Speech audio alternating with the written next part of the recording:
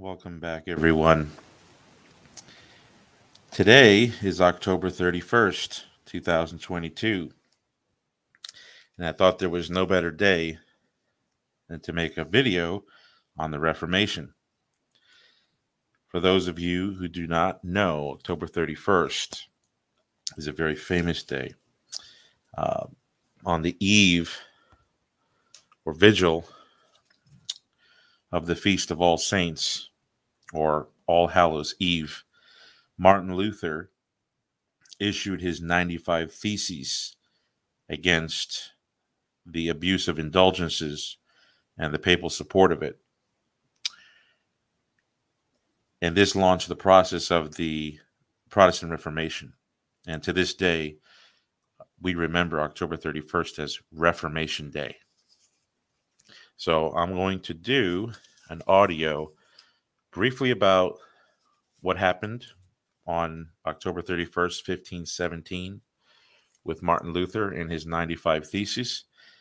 And then I'm going to talk about the monumental doctrine of justification by faith. But before I get into that, uh, I have a few announcements that I'd like to make. So, first, uh, please, if you can, subscribe if you have not, like the video, hit the bell for future notifications, and share within your social media. I appreciate all the help I can get to reach more people. The other point I wanted to make is I have a personal friend of mine from of many years um, who has many children, one of which was recently diagnosed with cancer. And the family is in dire need of financial support. Their little son, Dryden, needs all the prayers he can get. He is responding very well to the chemotherapy. And so all of the doctors have uh, bright expectations uh, to him overcoming the cancer. Um, but uh, he's still not out of the woods, and he needs prayers, and he and the family, um, the Stuart family, needs all the help that they can get. You can see a link for the GoFundMe in the uh, show links uh, below the video. Please, if you can, um, support in any way, if you can. All right. So those are the uh, that, that's the only announcement I have. Um, but uh, I want to get back to this issue of the 95 Theses. So it's popularly believed that Martin Luther posted uh, his 95 Theses to the front door of the castle church in the Saxon University town of Wittenberg, Germany. And that from there, um, you know, the Reformation kicked off and everybody was uh, starting to believe in justification by faith alone and uh, denying papal authority and all that. There's a lot of mythology behind this, and it, it there's no real concrete evidence other than a widely held legend that Martin Luther actually nailed the 95 Theses to the castle church in Wittenberg. Uh, many Lutherans have claimed that this happened, and and people in the uh, within the 1500s later on were claiming that it happened. But we don't have any statement in Martin Luther about this event. And anytime he recounts the beginnings of his uh, his his penmanship against indulgences and against papal authority, he doesn't mention anything about posting the 95 Theses, as far as I know and as far as many scholars know. Uh, so, what is clear and what he did claim is that on the eve of the Feast of All Saints, he did issue his 95 Theses. And what that means is he probably posted it, um, meaning through mail, to the local bishop of Wittenberg. And um, and awaited responses um, to have some sort of uh, a disputation on that. Now, the the reason why the legend came out that he posted it on the front doors because that was actually a common thing for uh, theologians, uh, academics, and scholars to do um, whenever they wanted to engage in a disputation in in some sort of academic format. Is that you could post um, a, a, a, summons or a notice of disputation on a particular matter, and then they could meet together to discuss and dispute. So that was not uncommon at all. So it, there may have been, I mean, Luther may have done it, you know, but it there just doesn't seem to be a lot beyond mythology supporting it. Um, and and so what we do know is that the 95 theses were written against the abuse of indulgences at that point in time. Martin Luther was uh, very respectful of the papacy. He was not against uh, the sacraments of the church. He he he definitely did not know um, the the full orb uh, doctrine of justification as he later defined it at this point in time in 1517. Um, and so, in many ways, he was still uh, uh, just a, a, Catholic who was disputing something that he thought could be resolved um, with basically correcting the church on the abuses of indulgences.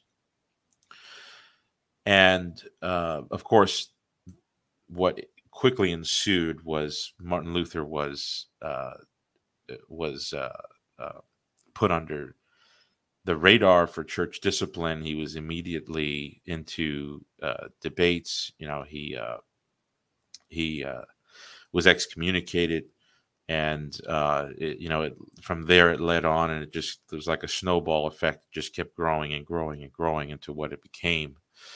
Um, and so the 90, the 95 theses were not on the the doctrine of justification. In fact, it was mainly on the doctrine of indulgences.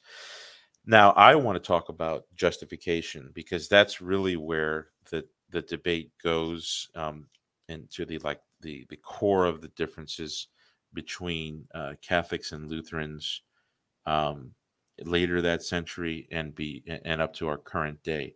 Although I don't want to belittle the other arguments that uh, Luther had against the against Catholic theology. He came to he came to dispute um, the the schoolmen, the medieval schoolmen, and their their interpretations of uh, Paul, interpretations of the Bible, and uh, you know it really centered in on uh, for Luther anyway. In his own words, he he really thought that the doctrine of total depravity, the bondage of the will, the enslavement of the human being to sin, that the man man has no um, he has no choice but to sin. Um, and and he did not see a difference between venial and mortal sin um, in in a way that would uh, uh, support um, the way that the Catholic theologians were teaching on original sin, the fall of man, and how sin relates to the uh, baptismal life of grace.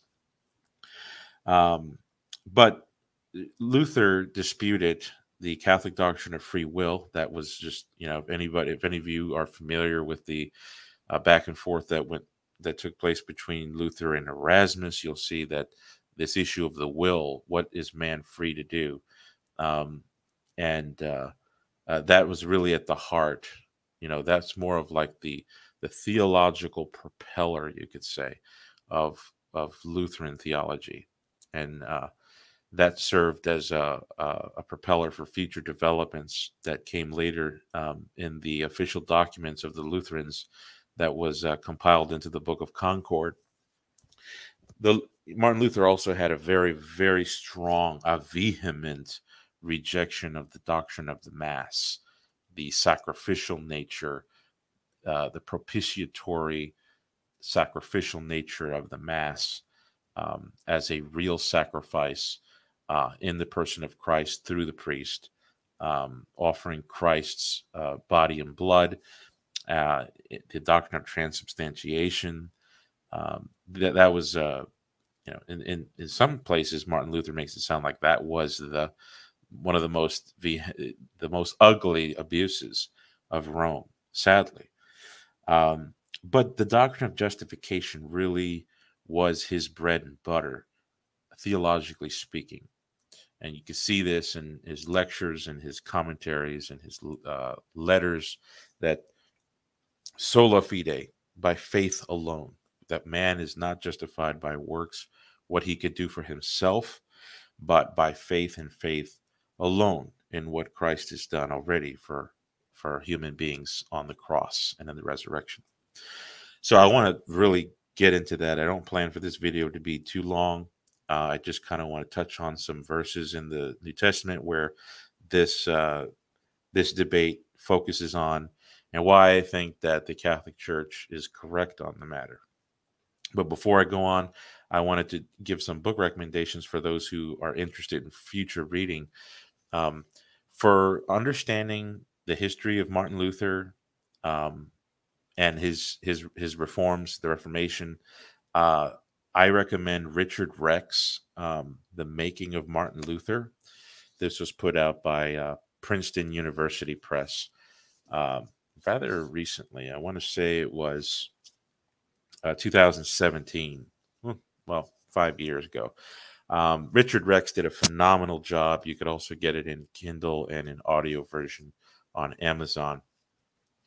For those wanting to understand the Catholic doctrine of indulgences, I would recommend uh, Saint Pope Saint Paul the Sixth's uh, d- uh, decree. Well, it's not a decree; it's a it's a basically a document um, on indul- on the doctrine of indulgences. It was published in 1967.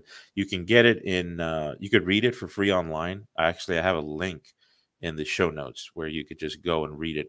But uh, if you have this, uh, the the first volume of this uh, Vatican collection on the conciliar and the post-conciliar documents of Vatican II, um, you can read uh, the um, Indul- Indulg- Indulgentiarum Doctrina, the Apostolic Constitution on the revision of indulgences, um, and uh, the Pope goes into the theology of indulgences, its origins and its history, and its uh, logical coherence with biblical and traditional Christianity.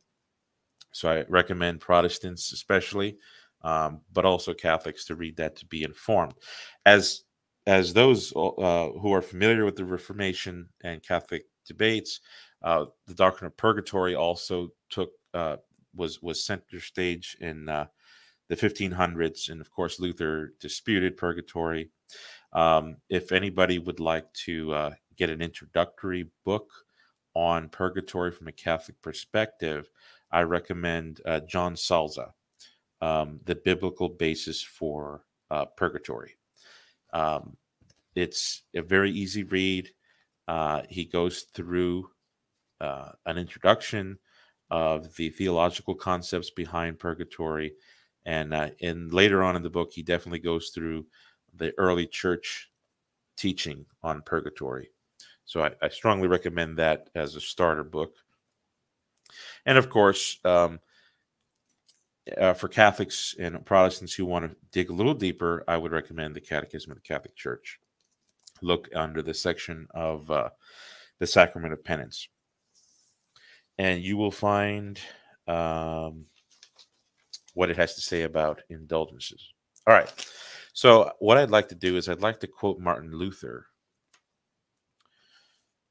Martin Luther. Okay, I'm going to share my screen here. And uh, this is a rather famous statement of Martin Luther on what he came to see as the uh, the beginnings of the uh, of of his discovery on the doctrine of justification. So if you could see this here on the screen, you could read along with me. And for those who are just listening, um, I'm about to read it. So I'll say, uh, quote, I had returned to the Psalter to interpret it a second time. I had suddenly been possessed with an unusually ardent desire to understand Paul and the epistle to the Romans. But just one phrase in chapter 1 in the gospel, the justice of God is revealed, had so far stood in my way. I hated that phrase, justice of God. I felt that before God, I was a sinner with an utterly disquieted conscience, and I could not believe that he was placated but by my satisfactions. I did not love, indeed, I hated that God who punished sinners. Yet I knocked persistently upon Paul in this passage, most earnestly wanting to know what St. Paul intended. At last, I meditated night and day. God had mercy on me. I realized the significance of the context, namely, in it, the justice of God is revealed, as, as it is written, He who through faith is just shall live. I began to understand that the justice of God meant that justice by which the just man lives through God's gift, namely by faith. Here I felt that I was altogether born again and had entered paradise itself through open gates. This passage of Paul became to me a gate to heaven. All right. So anybody who wants to uh, read further on that, um, I got that from uh, Michael Mullett's book on Martin Luther that was published in uh, it was published by Routledge. So anyway, Martin Luther there is basically saying that the St. Paul's epistle to the Romans is where he found uh, paradise because he came to understand that phrase, the justice of God, which in the Greek is dikaiosune tou theou, as a merciful gift of salvation. He claims, Luther does, in, in, in his writings, that the schoolmen and the theologians of his day uh, almost unanimously defined justice of God as God's justice against sinners, so punishing his punishing and his his uh, retribution. Now there are some, I think there are some patristic commentaries that interpret it that way, but that's just not uh, defensible. That everyone in the Catholic Church up to his time, or at least within the the the last part of the 15th century, going into the 16th century, that all Catholics interpreted righteousness of God as his uh, punishing retribution. Yes, there are some commentaries, medieval commentaries, that tie in the the psalmic uh, usage of that. Um, zedek in the Hebrew root for righteous, um, when it's a when it's uh, in the genitive of God as His punishing retribution against His enemies. Um, but there are there are a ton of theologians who understood that uh, the righteousness of God in Paul was his redeeming salvific gift of of righteousness that he gives to sinners. So on that score, Martin Luther was entirely correct. He's he's not graduating any further than uh, how Saint Augustine of Hippo understood uh, the justice of God in in Romans chapter one. Um, so Martin Luther's discovery there is really a discovery that's still native to the home of Catholic theology. So he really found something that is uh, native to Catholic doctrine. And uh, if you don't believe me on that, just uh, go to the sections on justification in um, the uh, the Catechism of the Catholic Church, and uh, you'll see that um, the the righteousness of God is defined over and over again as uh, as the uh, as the saving, redeeming gift of of forgiveness of sins, and and as well as the and, and here I should probably define. I should probably define, and and so let me just I'm just going to go there to the Catechism, and uh, and, and read a few of the paragraphs. So I'm going to read uh, paragraph 1987 on how uh, the Catholic Church understands righteousness of God in her official documents here. So we can see how it actually concurs with Luther's discovery in uh, in that commentary that we just read. All right, so uh, paragraph 1987 says, the grace of the Holy Spirit has the power to justify us. That is, to cleanse us from our sins and to communicate to us the righteousness of God through faith in Jesus Christ. So there we go. It's it's the it's the righteousness of God, um, which gets further defined later. You can see we could see this in uh, uh, paragraph 1991 he's uh, catechism says justification is at the same time the acceptance of god's righteousness so our acceptance of god's righteousness through faith in jesus christ. Righteousness here means okay so this is the catechism of the catholic church giving us a definition. Righteousness or justice here means the rectitude of divine love. With justification faith hope and charity are poured into our hearts and obedience to the to the divine will is granted to us. Goes on in paragraph 1992.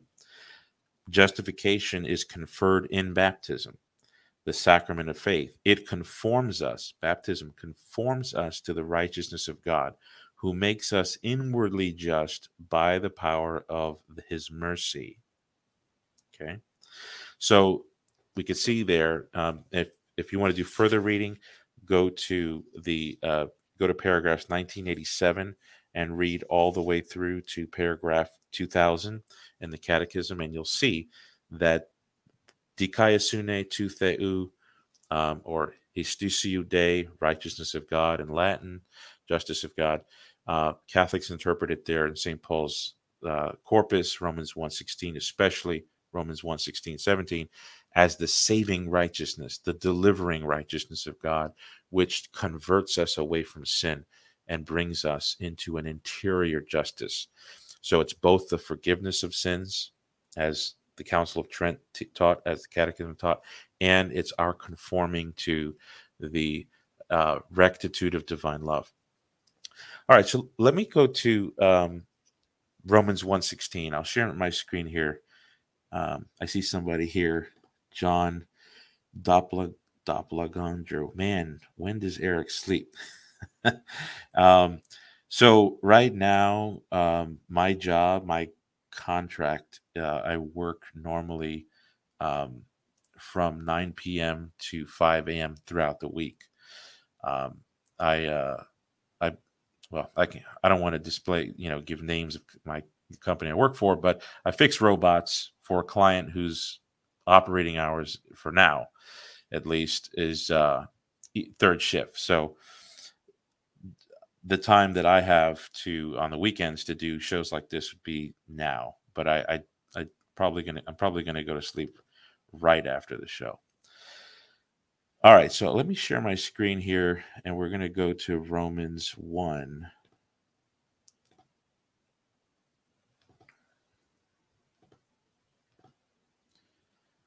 I'll be I'll be using the uh, New King James version because uh, Protestants like that translation, and I like that translation too. I have no problem with it. All right, so I'm going to highlight the section here. Paul says, "For I am not ashamed of the gospel of Christ, for it is the power of God to salvation." For everyone who believes, for the Jew first and also for the Greek. For in it the righteousness of God is revealed from faith to faith, as it is written, The just shall live by faith. Amen. So, this is the thesis or the thematic content of St. Paul's epistle to the church in Rome. And a couple of observations here will easily show how the way that Protestants eventually came to define justification as uh, an external imputation of righteousness. So when they read, so Martin Luther first saw the uh, Justitia Dei, the justice of God, as a as a redeeming gift of mercy, which is fine.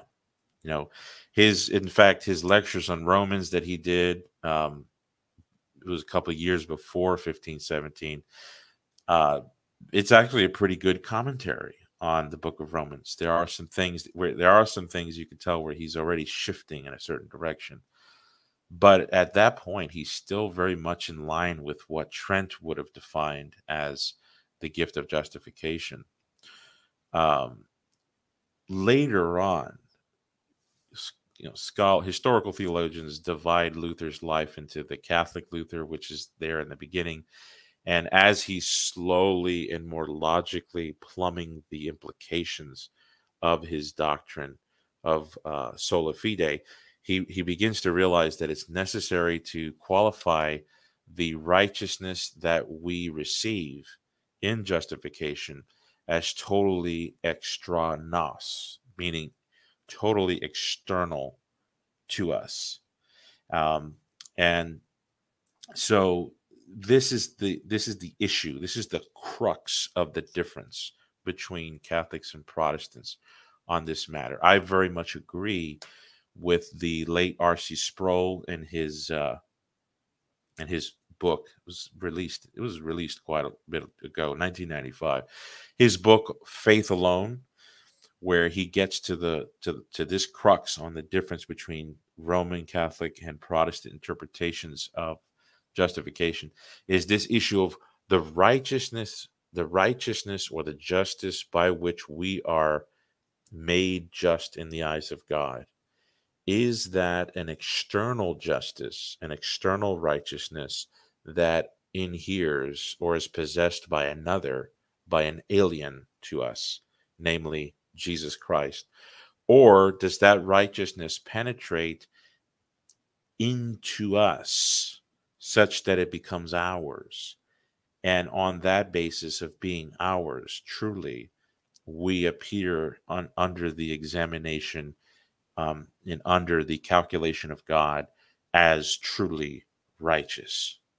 So the again the what Luther came to see as necessary for this, um, and what certainly Calvin began to see as necessary from this, and uh, even more poignantly the the later the later the progeny of the reformers, uh, especially the Calvinists and the Puritans, um, began to understand that that the righteousness defining the locus of that imputed righteousness is the crux of the debate on this issue.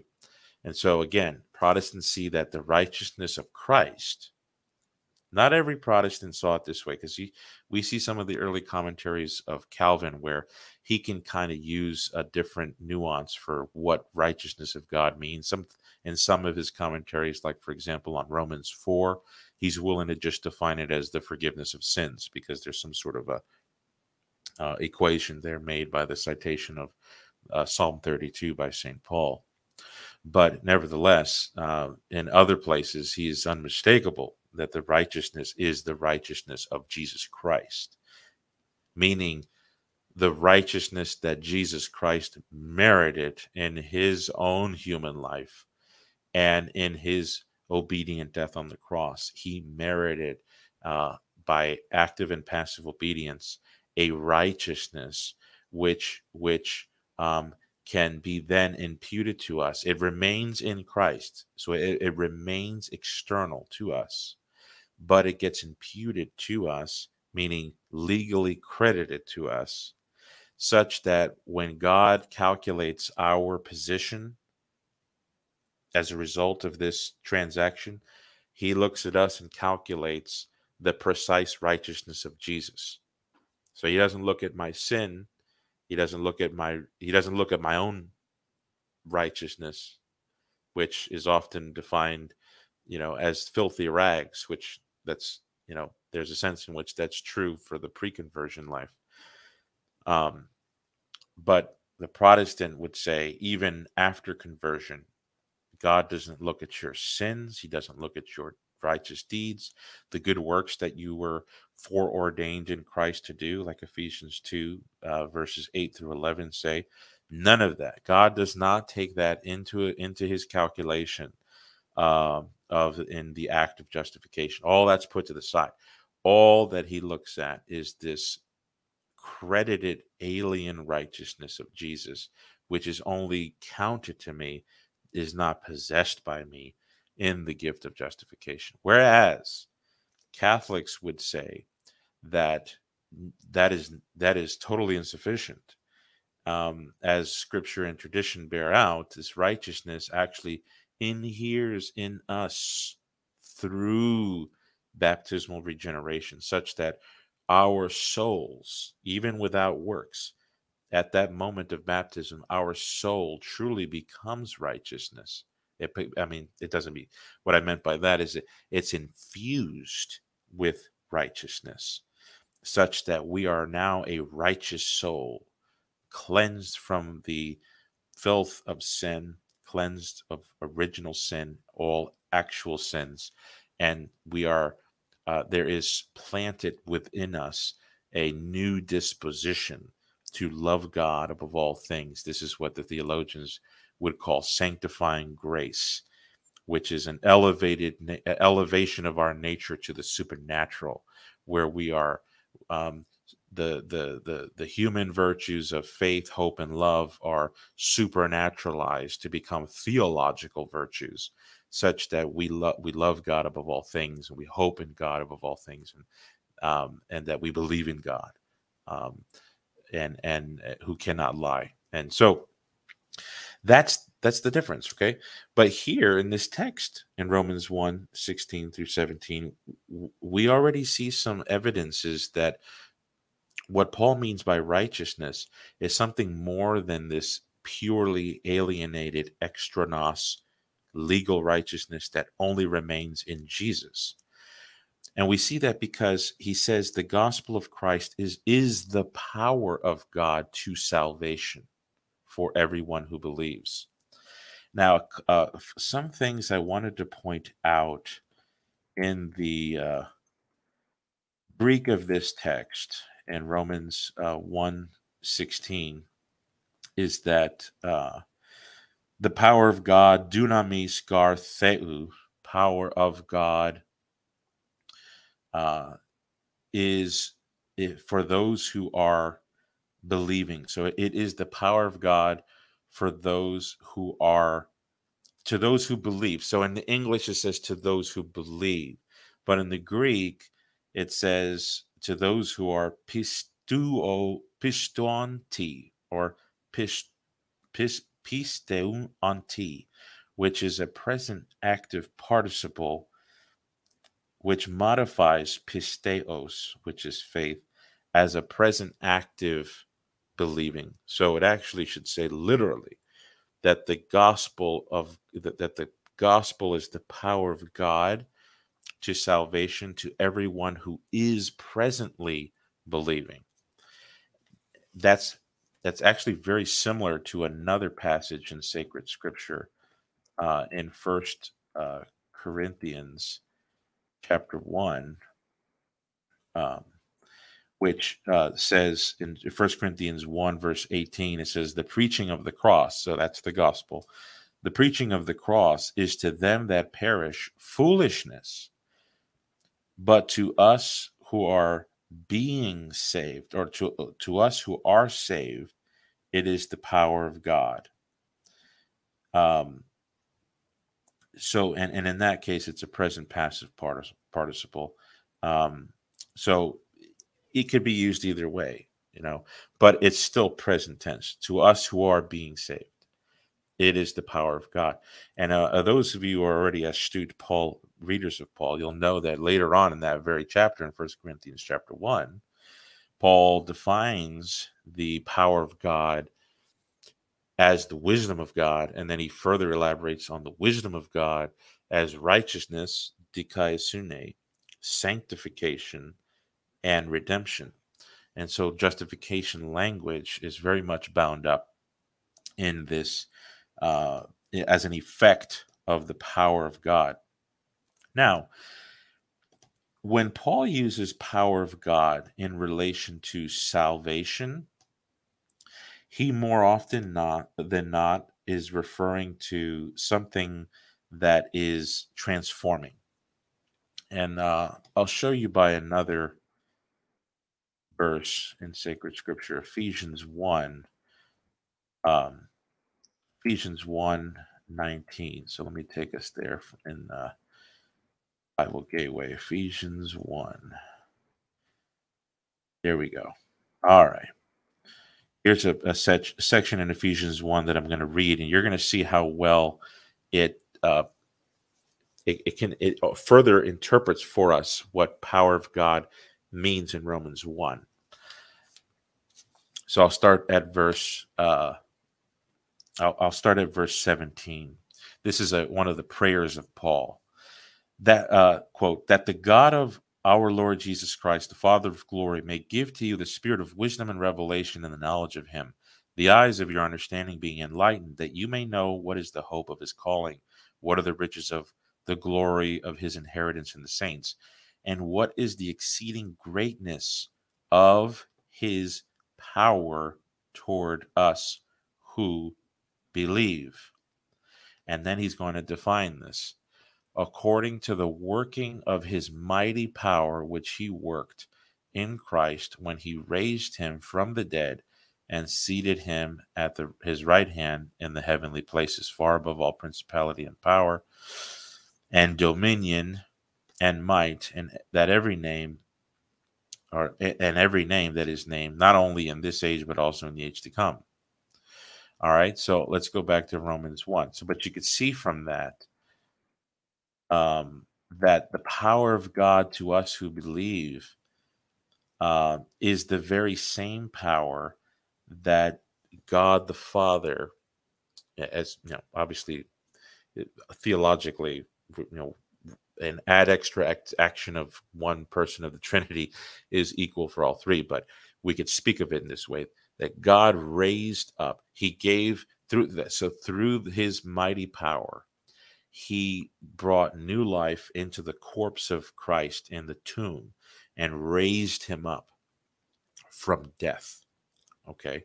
So when Paul is talking about the saving dunamis, power of God, he is talking about resurrection power. This isn't just some vague notion of God's mighty right hand. This is a very specific power. It's a power to raise men from the dead. And in the motif of New Testament soteriology, raising us from the dead is always inextricably tied to the gift of regeneration. So I'm going to say here, without giving too much proof, that what Paul has in mind here in Romans 1:16 is regeneration. It is the power of God, the re- resurrecting, regenerating power of God to salvation for everyone who is believing, for the Jew first and also for the Greek. And then he bases a reason, he, he bases this in a further reason um, with the word for here. For in it the righteousness of God is revealed from faith to faith. So here is this important phrase, the dikaiosune theou, that uh, that Martin Luther caught atten- his eye caught attention of. The justice of God or the righteousness of God is revealed, and the word for revealed there can mean uncovered or manifested. It's manifested and uh, ek this the, the word here the preposition here from faith ek out from faith into faith from faith to faith i take it as just basically highlighting the the finality and the the fullness of faith in relation to how it manifests the righteousness of god. Uh, several exegetes have commented on what this could mean. There's many options. In fact uh, Reformed theologian John Murray, the late John Murray, um, his commentary on Romans has he's, he's a Presbyterian, but um, he's got a, a you know a, a, a, a, historical outline on the history of exegesis on on what that could mean from faith to faith.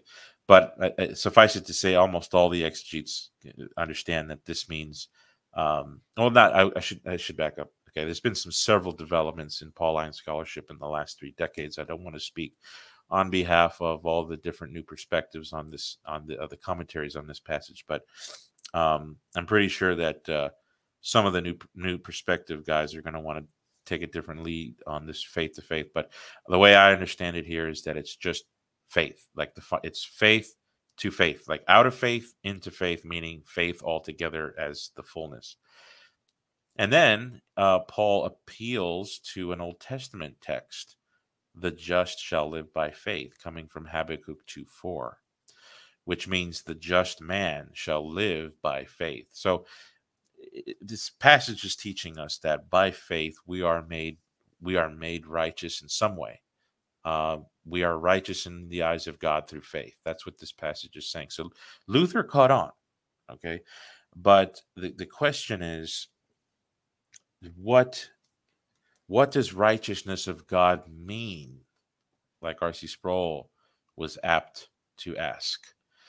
Righteousness of God occurs in another place in the New Testament outside of Paul. Of course, I don't want to go outside of Paul to define something that's in within his writing, but um, even Protestant exegetes, for example, like uh, Dr. Uh, Douglas Moo, his commentary on James, he even sees uh, a, a, connection here between the righteousness of God as James uses it and the way Paul uses it.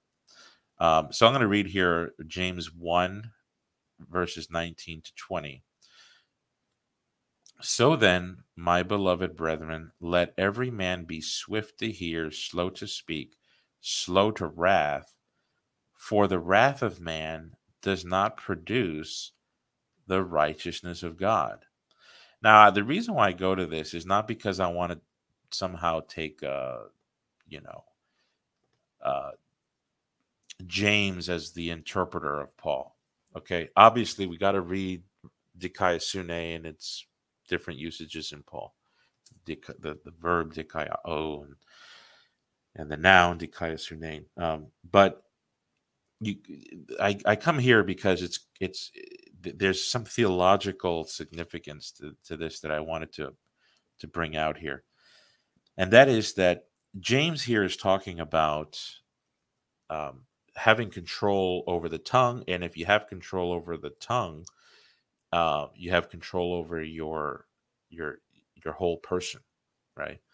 And if you don't, you know, if you're quick to if you're quick to speak, quick to wrath, you have a short fuse. In other words, um, you produce uh, you produce sin.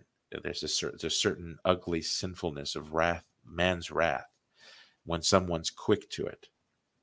And uh, James is calling men to to to to do the opposite. Be swift to hear, meaning be quick to hear, as the Proverbs and all the wisdom literature had taught hitherto.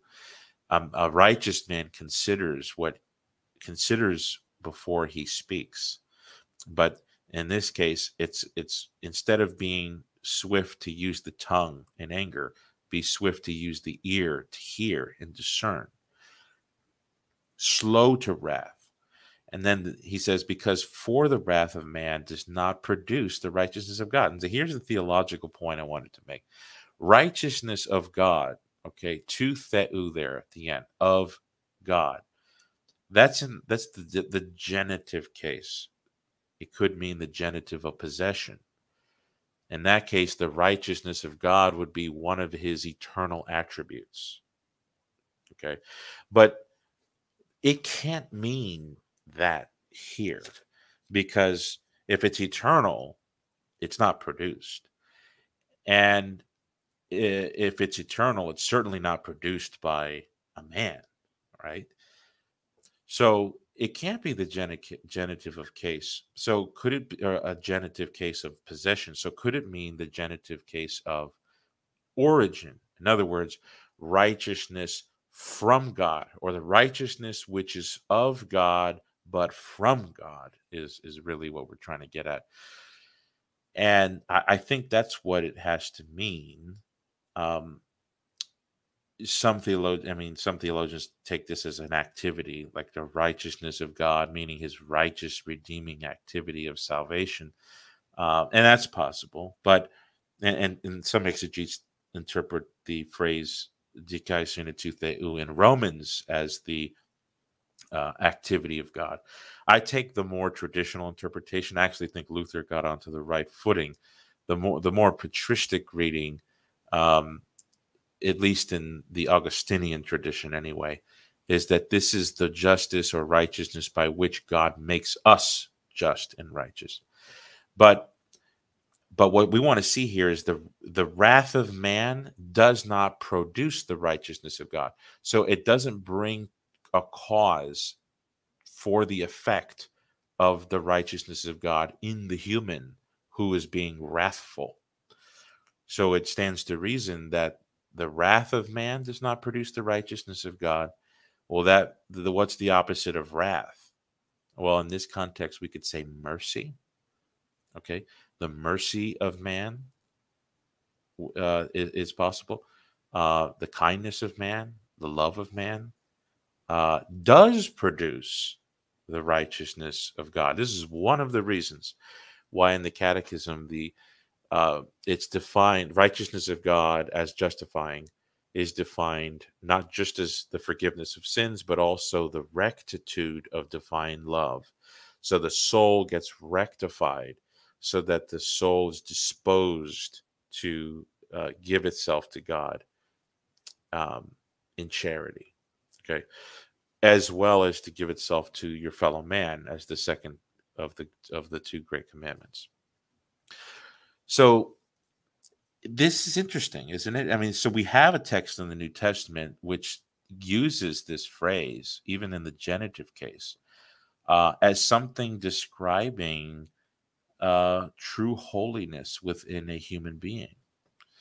And so it's rather interesting. Um, I don't want my uh, reformed readers to think that I'm trying to make a, a drop, you know, like a knockdown, drag them out refutation to uh, Reformation exegesis of Dikaiosune Theou, but I thought it was interesting just to observe that that's how James interpreted the righteousness of God. And it just so happens that if it, it kind of follows in Paul, if you have the power of God to salvation being what I said it was, what he defines it as in Ephesians 1 as the the righteousness of God that raises man from the dead. Uh, Ephesians 2 actually even defines it further, where we were once dead in sins and trespasses, but he made us alive. And, and that's not just uh, a vague notion of being made alive. Once again, it's a very specific thing. It's actually our participation in the transition of Jesus Christ from natural human life to a dead body, the corpse in the tomb, to the, the new resurrected, glorified human form. So we actually participate in those transitions with Saint with with Christ our Lord. And and Paul Paul uh, ex- uh, explains this further in his epistle to the Romans in Romans six, for example, where he talks about us joining Christ in his crucifixion, burial, and resurrection. Okay, and the effect of that is the righteousness of God. So the, uh, there's just some observations to, to take note of here that tips the needle in favor of a Catholic Orthodox reading of Romans 117, which would certainly be contrasted with uh, the later Lutheran uh, dictum on the righteousness being alien from us, outside of us, in Christ alone, and only imputed to us in the gift of justification. Okay, so uh, let let's go further um, to look at this passage that the just shall live by faith. What does that mean? How is it used elsewhere in the New Testament? So I'm actually going to take us to uh, another spot in the New Testament in the book of Hebrews. Um, let's see. I think it's Hebrews 10. Let's see. Uh, yes, Hebrews 10. So if you could see here with me, uh, for those of you who aren't familiar, uh, we don't know who wrote the epistle to the Hebrews. A lot of church fathers thought it was Paul. Um, there's some reasons for that, some reasons to doubt that. Um, but I like Pauline authorship theory, so I'll just say St. Paul wrote it. But uh, he wrote it to the Hebrews who were discerning, uh, they were capitulating to persecution and things like that, uh, and and and growing in certain theological doubt of the uh, of the gospel and of the new covenant in Christ. And they were returning to the old covenant. So these are Jews who are basically teetering on apostasy, and um, Paul Paul tells them to recall their former days. So here, let's look at verse 32. This is Hebrews 10. Uh, quote, but recall the former days in which, after you were illuminated, you endured a great struggle with sufferings, partly while you were made a spectacle both by reproaches and tribulations, and partly while you became companions of those who so treated. For you had compassion on me and my chains. That's one of the reasons why many people thought it was Paul. Uh, you had compassion on me and my chains, and joyfully accepted the plundering of your goods, knowing that you have a better and an enduring possession for yourselves in heaven. Therefore, do not cast away your confidence, which has great reward. For you have need of endurance, so that after you have done the will of God, after you have done the will of God, you may receive the promise. And then he quotes here from Habakkuk For yet a little while, and he who is coming will come and will not tarry. Now the just shall live by faith, but if anyone draws back, my soul has no pleasure in him. Notice, notice this, notice what it says here. Now the just shall live by faith. But if anyone draws back, so drawing back is the contrast of live by faith.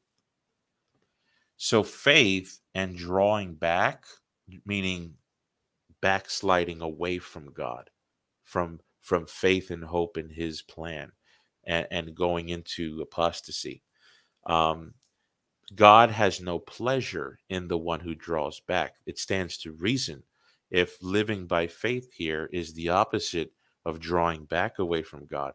Living by faith ha- means drawing, t- being drawn towards God and causing God to have pleasure upon the one who believes. So, what we have here is a God pleasing virtue in this word faith. Okay, Paul goes on in verse 39, but we are not of we are not of those who draw back to perdition, but of those who believe to the saving of the soul. So, obviously, the opposite of drawing back, which is drawing near. Interestingly enough, James also talks about uh, this idea of drawing near to God. Cleanse your hands, uh, purify your hearts, draw near to God, and he will draw near to you. Resist the devil, and God will draw near to you. So, this drawing towards God, coming to God through faith, has to be a God pleasing virtue, which we understand that faith in and of itself is a kind of virtue, but it's it's God pleasing in this sense, in this New Testamental sense, when it is formed by another virtue we call charity. Okay, and this is why if uh, you you read some of the uh, if you read some of the uh, scholastics, like like for example, uh, Saint Thomas Aquinas, just let, us just go to him because if the reformers read him, I think that they may have seen there was no reason to go as far as they did with this idea of the of the Iustitia Dei, the righteousness or justice of God, being an alien, being permanently alien uh, in the gift of justification. Charity form the the charity forming faith, which is faith formed by charity when the, the Pope Benedict XVI even said that we could almost, I mean, we could actually agree with Martin Luther's uh, modification of Romans 3:28, where he said in this German Bible that therefore we are not justified by the works of the law, but by faith alone. So Pope Benedict XVI, in one of his uh, in one of his audience uh, uh, uh, that his addresses that he gave in a public audience, he said that Martin Luther is right to add the word alone there. If we can understand that the faith that's being talked about is not just this pure and unaccompanied, unformed idea of intellectual assent, pure intellectual assent, which for my Lutheran readers, for my Calvinistic readers, none of the good Reformed theologians ever interpreted it that way when it comes to saving repentant faith. Um, so Pope Benedict said that we could say that we're justified by faith alone if we're talking about a faith that is formed by charity. In other words, you have the faith as as being seen as an instrument of justification, but it's it's got a certain shape to it. It's the kind of faith that's accompanied with repenting love of God. It's it's a faith that draws the person to God in repentance. So, like Abraham, when he came to God, he did not just believe the facts about the promise of God. No, no, no, no. He abandoned his all of his dreams and all of his plans with his life in Ur. Secondly, in Genesis 15, he he tried to procure the promise through Hagar. For those of you who are familiar with the Pauline literature uh, and with the the the, te- the, Mosaic text, you know that um, that Abraham tried to use his own works to procure um, the gift of a child through Hagar.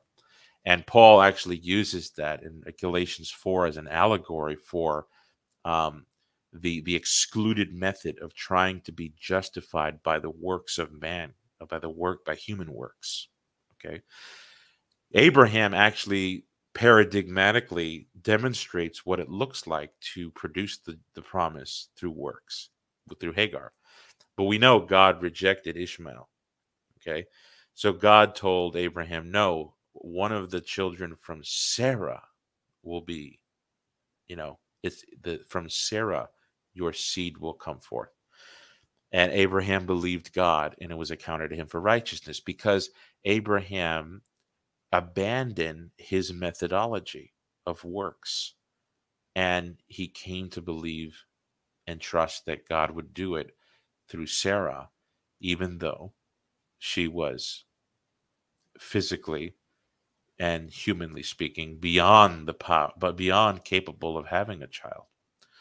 So um, Hebrews, Hebrews here, uh, for what I'm trying to say here, Hebrews is a remedy for the Catholic Protestant debate on the word how to how to define uh, pisteos, uh, faith in Paul's language of Hebrews uh, when he quotes Habakkuk 2 4. That's what I'm trying to drive at here. We see here in Hebrews that um, saving faith is a repentant, obedient faith, which is something that all the reformers could admit.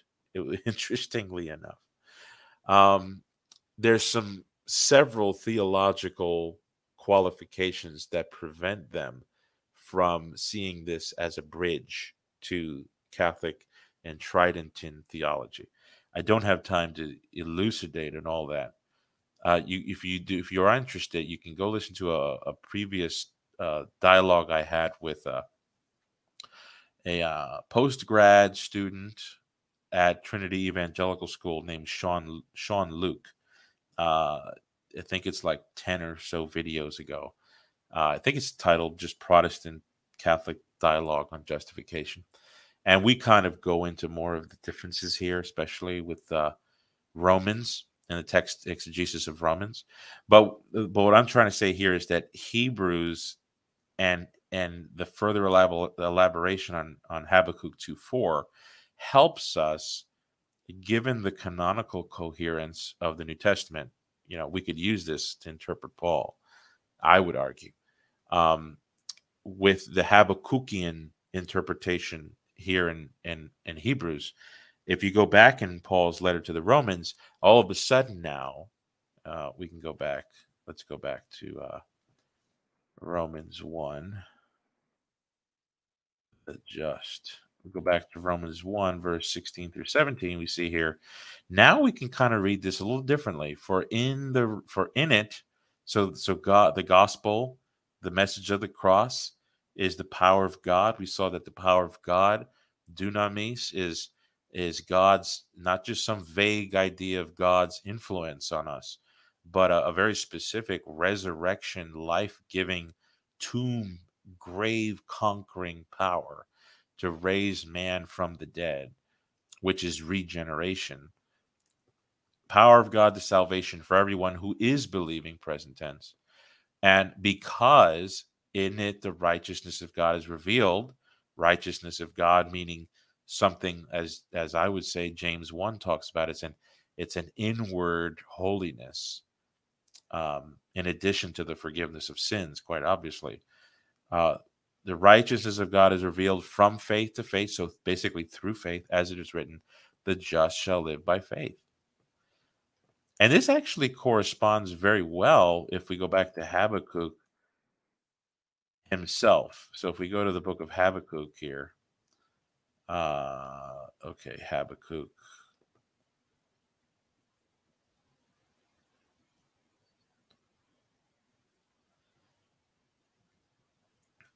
Sorry, my uh, computer's acting up here.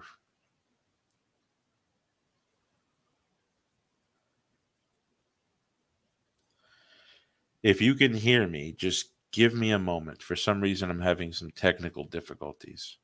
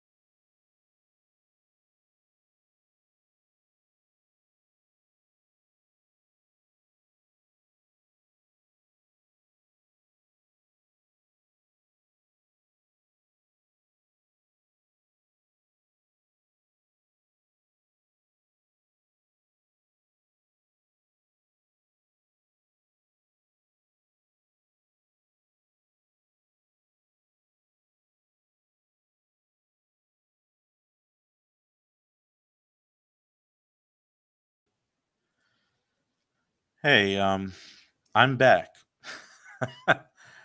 uh, can anybody who's watching confirm that they see me back here? I don't know. Uh, I see some of the people in the comments here saying that uh, I was frozen. That might have been the case. Can anyone hear me now? Uh, yes. Okay, you can see me. Uh, can you hear me? Okay, so I got confirmation. I that I can be seen and heard. Anyhow, I don't know exactly where I was frozen.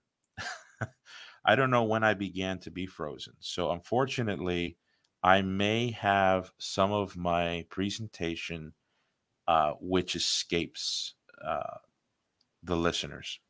I am sorry. I uh, did not want to do that. Um, so let me share my screen again to where I wanted to go. I wanted to go to Habakkuk himself and and show you how Paul's interpretation of Habakkuk has to match what uh, Habakkuk himself was trying to say. Let me share my screen. Okay, so I'm here.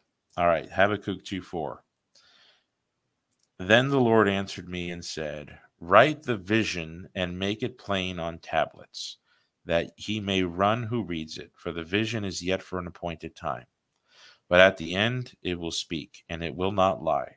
Though it tarries, wait for it, because it will surely come. It will not tarry. Behold, here we go, Habakkuk 2 4.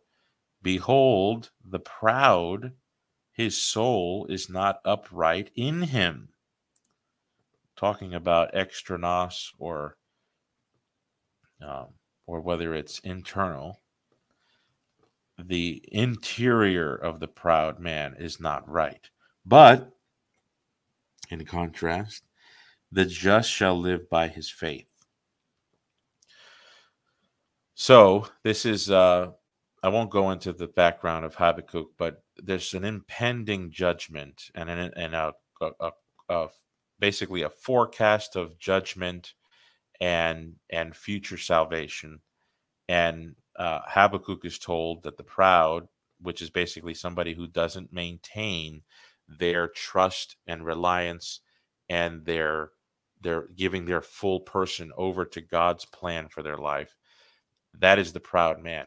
That person is not is not upright in him. In other words, he does not have the justice of God like James says, the wrath of man. Well, we could say the wrath of man does not produce the, the justice of God. We could say here the pride of man, likewise, does not produce the, the righteousness of God.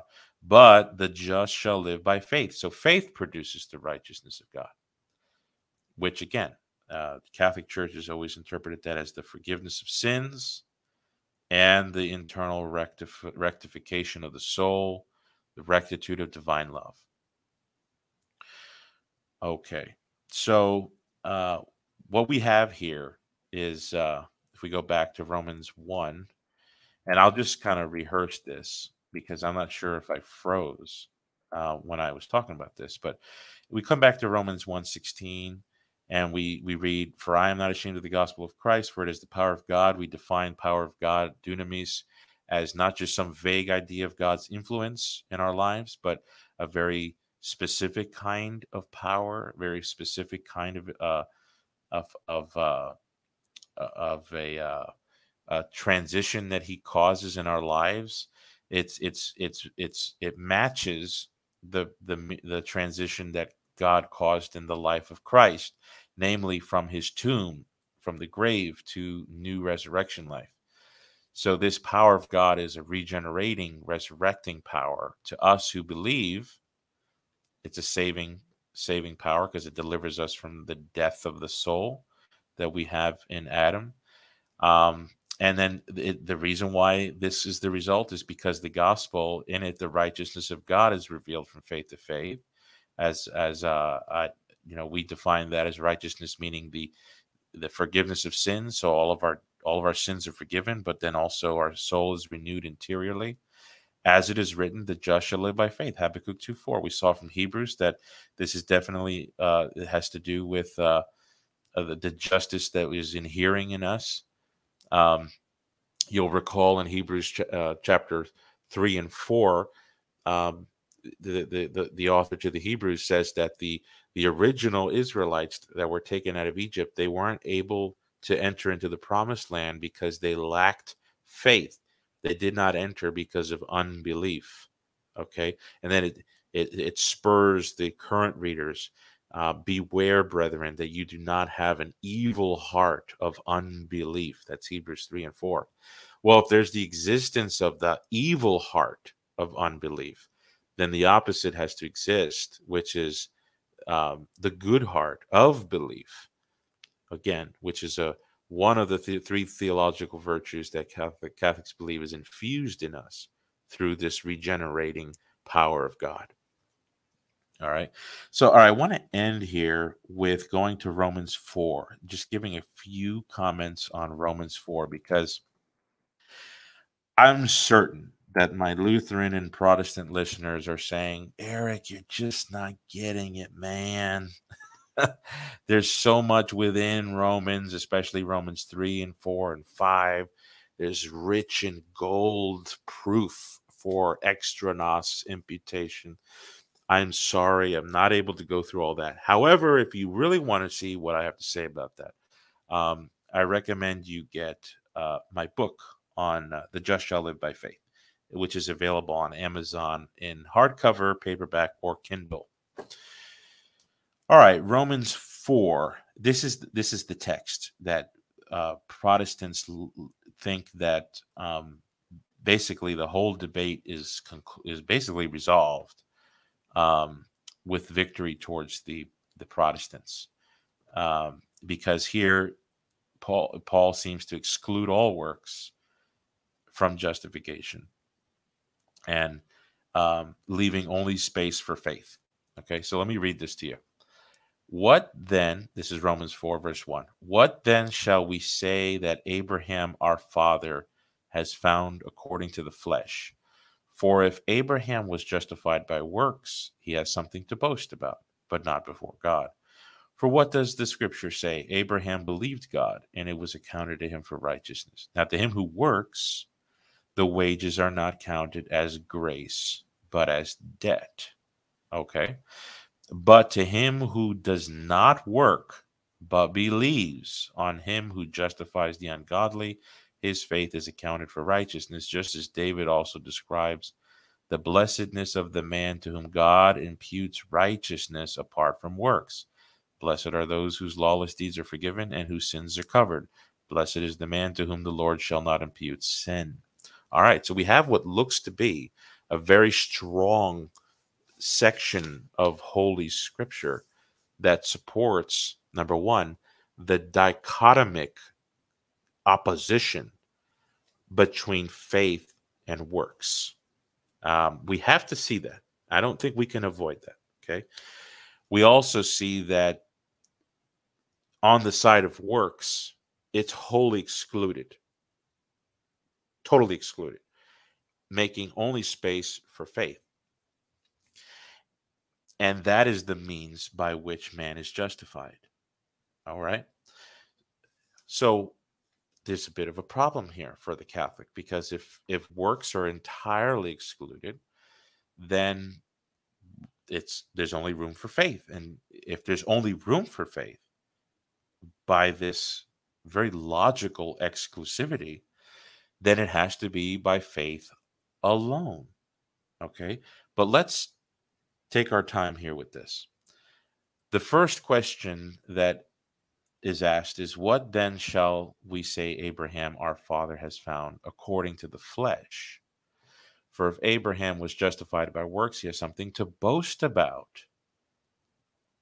So justification by works and boasting for Paul are synonymous. If a man is if a man boasts before God, it's because he's justified by works. That's clear.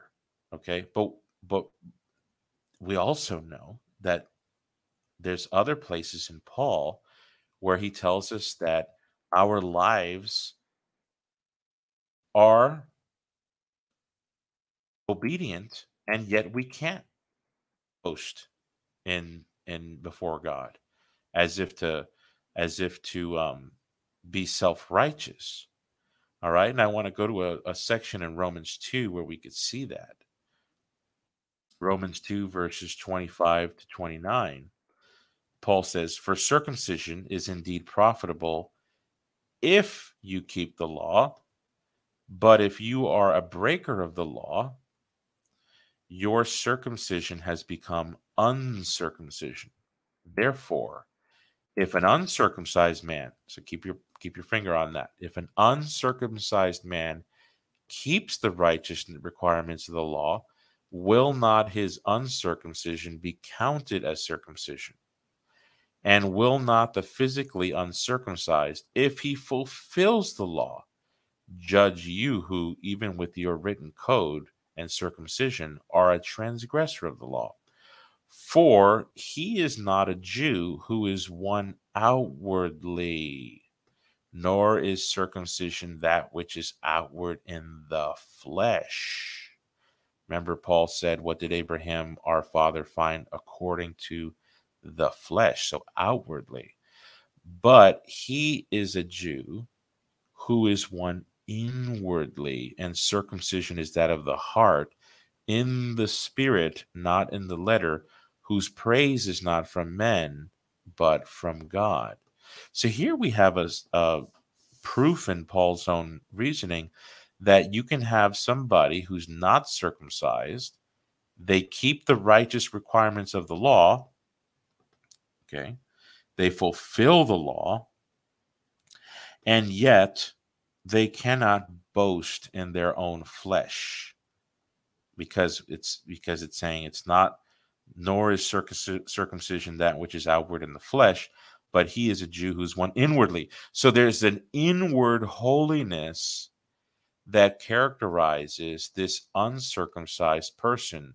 And yet he is not permitted to do what Paul said a person can do who's justified by works, namely, boast before God and his own goodness.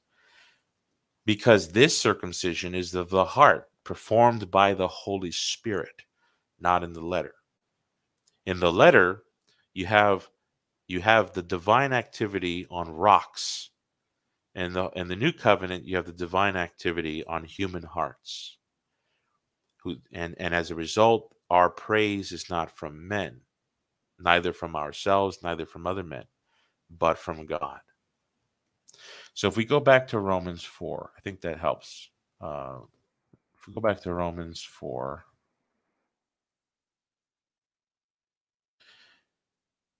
And now we can read what this means here. What has Abraham found according to the flesh as an outward an outward reality, an outward work basically. If Abraham did something, you know, that uh, in his flesh that would justify him by his works, then he would have something to boast about. And then it says Abraham believed God and it was accounted to him for righteousness. So, what does it mean for Abraham to believe God? Well, let's go further along in Romans uh, Romans 4 and see what Abraham's belief in God meant and how it relates to this crediting or imputation of, of righteousness. So, Romans chapter uh, 4, verse 8 to 17 or 16. Let's see it from 16. Um, actually, we'll start at uh, Faith of Abraham, 16c. The faith of Abraham, who is the father of us all, as it is written, I have made you a father of many nations in the presence of him whom he believed, God, who gives life to the dead and calls those things which do not exist as though they did. Who, contrary to hope, in hope believed. So we have another virtue here hope. In hope believed. So in hope, so hope has a forming, uh, a shaping influence on faith. So in hope, Abraham believed so that he became the father of many nations, according to what was spoken. So shall your descendants be. And here we go. Not being weak in faith, meaning he was strong in faith, he did not consider his own body already dead, since he was about a hundred years old, and the deadness of Sarah's womb. He did not waver at the promise of God through unbelief Okay, so there's an evil here that Abraham avoided. He did not waver at the promise of God through unbelief, but was strengthened in faith. So faith actually has It, it, it adapts. It can either grow weak or it could grow in strength. But with strength in, faith, giving glory to God. Here goes here goes back to that issue that Habakkuk 2 4 was talking about, where the soul of the uh, proud man is not right, but the soul of the just is upright. It's a God pleasing virtue, giving glory to God and being fully convinced, Abraham was fully convinced that what he had promised, he also was able to perform. And look at this. This is the key verse right here. And therefore, it was accounted to him for righteousness. Ladies and gentlemen, this is Paul telling us what he understands about Genesis 15 6 this citation that Abraham believed God and it was accounted to him for righteousness. It was accounted to him for righteousness in some sense because of the intrinsic value of what was in Abraham and not just what was not in Abraham, but what was in Jesus Christ alone.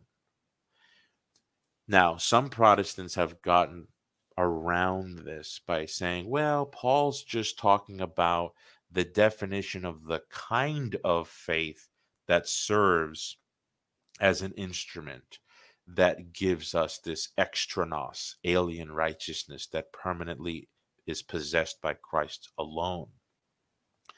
But that's just not very outstanding in this passage. What we see here is God, or I'm sorry, St. Paul telling us, well, God is telling us through St. Paul, that Abraham had some walkable virtue in this passage of Genesis 15. Okay. He, contrary to hope, in hope he believed. So hope is a virtue.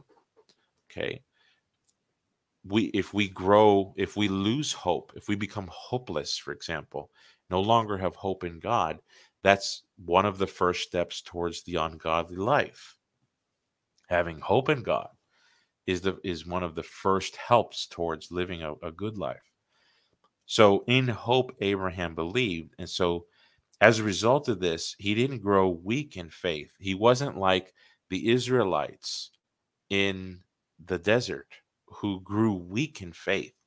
You know, they weren't getting as much food as they wanted. They weren't getting as much drink as they wanted. They weren't. Um, they weren't seeing, uh, you know, exciting uh, contrast to the Egyptian time of slavery. They they might they say we might as well go back to Egypt. You know, the author to the Hebrews says that they lacked faith. They had an evil heart of unbelief. Abraham, in contrast to that, here grows strong in faith. He did not waver at the promise of God. So you have to ask yourself, what if somebody doesn't waver at the promise of God, but grows strong in faith, giving glory to God? Is that something that pleases God? Of course it does. Of course it does. Didn't our Lord tell some of the, the people that he met over and over again that their faith had saved them, right? What think of the centurion can the, the centurion who who said um, that Christ that he was not worthy that Christ should enter under his roof, but that by saying the word, as we say in the mass, is saying, um, say the word only, and our soul shall be healed. If you if you could just say the word, Jesus, his daughter would be healed. And and Christ said, there is not this man had more faith than all of Israel. So this faith, okay, that Abraham had, it's shaped by a drawing influence to God. It refuses to go along with our own plan, with, as Habakkuk said, our own pride, with what we could see with our eyes, with an explanation that can only be understood and discerned through objectivity, like Thomas, who needed to feel the wounds of Christ. Jesus said, Blessed are those who, be- who believe but have not seen. These are people who are drawn to God regardless of it being against hope, meaning contrary to what would seem hopeful. And yet they give glory to God. That's what Abraham's doing here. He gives glory to God. He refuses to go with his plan, he goes with God's plan. And therefore, it was accounted to him for righteousness. You see? So if we go back to Romans 4, uh, where it says, For what does the scripture say? Abraham believed God and it was accounted for righteousness. This this believing here is a God pleasing virtue. And the righteousness that's accredited to Abraham, okay, is truly righteousness. It's righteousness that comes out of faith.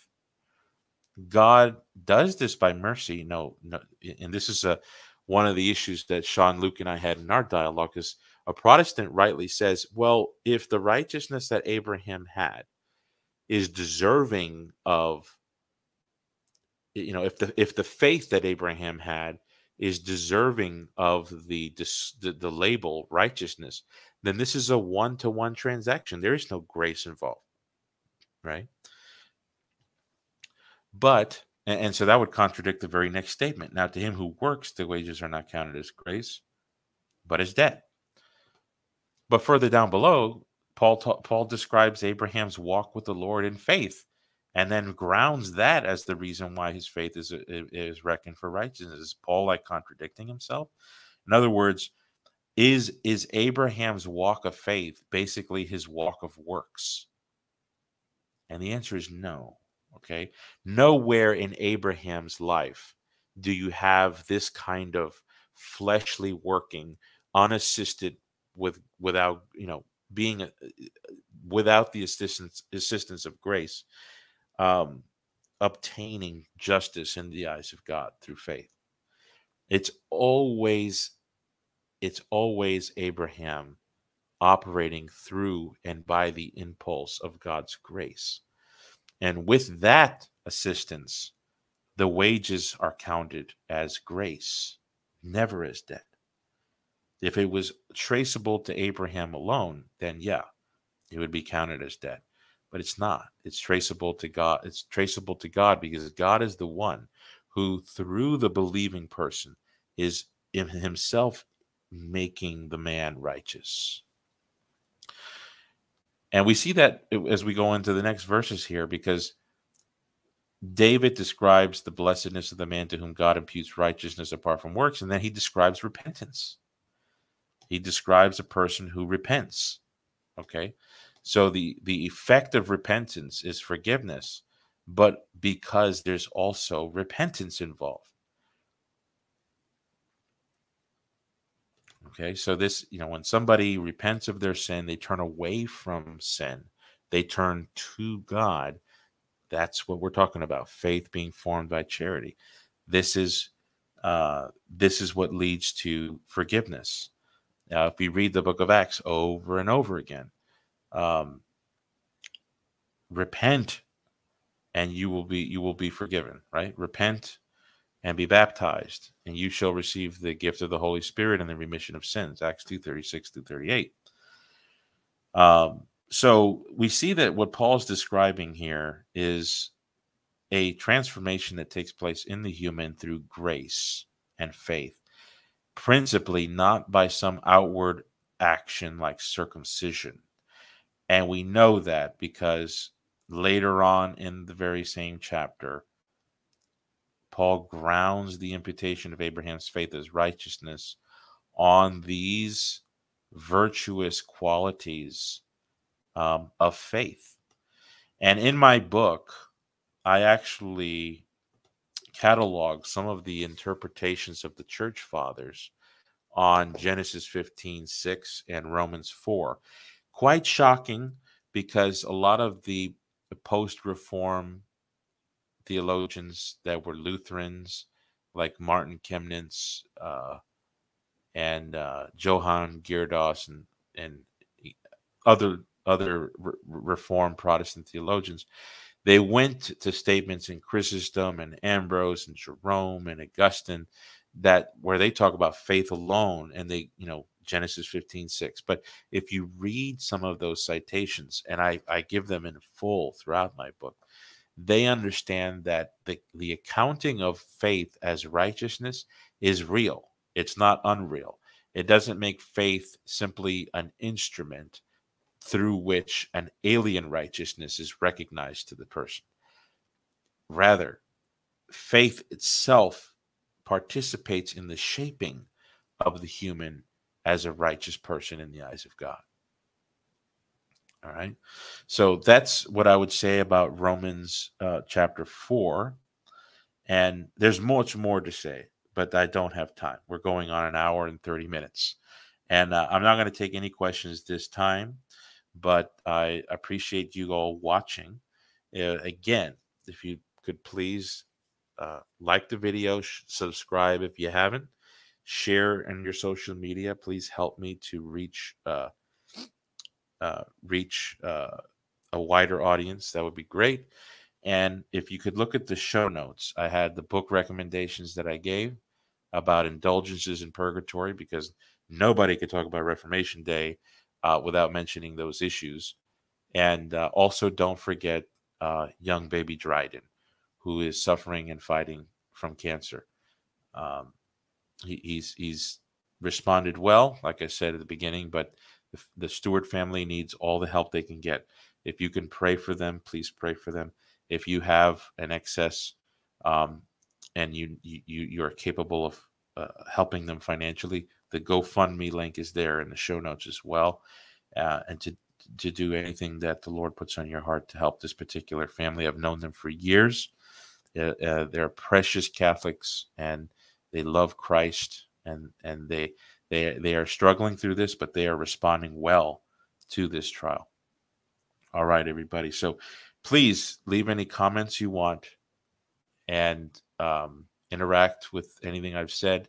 I just ask that you would keep to the rule that our Lord gave us uh, do unto others as you would have them do unto you. For such is the law and the prophets. All right. God bless everybody.